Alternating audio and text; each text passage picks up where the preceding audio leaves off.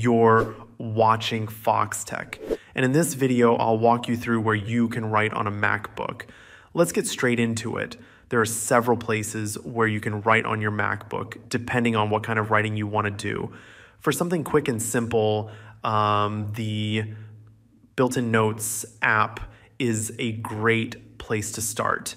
It's fast, easy to use, and syncs across all your Apple devices. It also supports checklists, images, and even handwriting if you're using uh, an iPad alongside your Mac. The downside is that formatting is pretty limited, so it's not ideal if you're working on longer or more structured documents. If you need more flexibility and want something that helps you stay organized, Notion is worth considering. It's highly customizable and really good for linking ideas, managing projects, or even using databases. You can also collaborate with others if needed.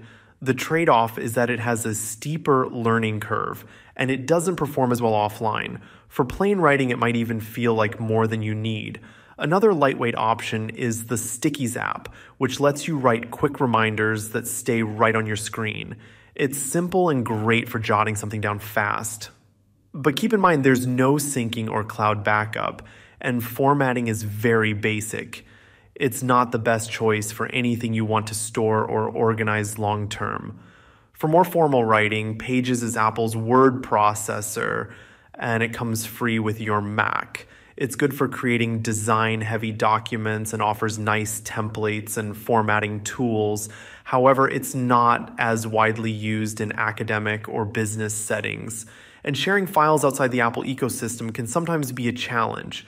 Finally, there's Microsoft Word, which is still the industry standard for many professionals.